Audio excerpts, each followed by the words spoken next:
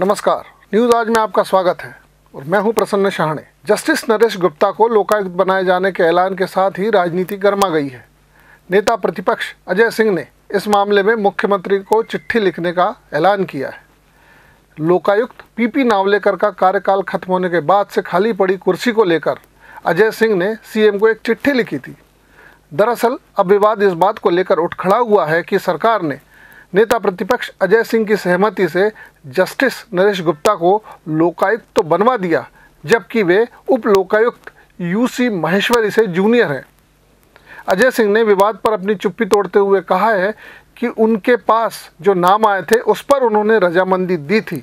लेकिन कौन जूनियर है और कौन सीनियर, ये देखना सरकार का काम है। ये जो विवाद सुबह से मुझे सतना से लौटने पर पता चला कि जो जिनकी नियुक्ति हुई है, जिसमें मेरी भी सहमति है, वो जूनियर है और उप लोक आयुक्त सीनियर है। ये ध्यान में रखना था चीफ जस्टिस साहब को और सरकार को, क्योंकि मेरे पास तो कोई जजों की ग्रेडेशन लिस्ट नहीं रहती। नाम सुझाव देने के पहले चेक करना चाहिए था, रजिस्ट्रार को या जिस जहाँ से भी आता हो। मैं पत्र लिख रहा हूँ मुख्यमंत्री को कि ये जो विवाद सुबह से है, इस पर आप ध्यान दें। और जो भी आपको उचित कार्रवाई करनी हो, वो करें। मुझे दीजिए इजाज़त। आप देखते रहिए न्यूज़ आज।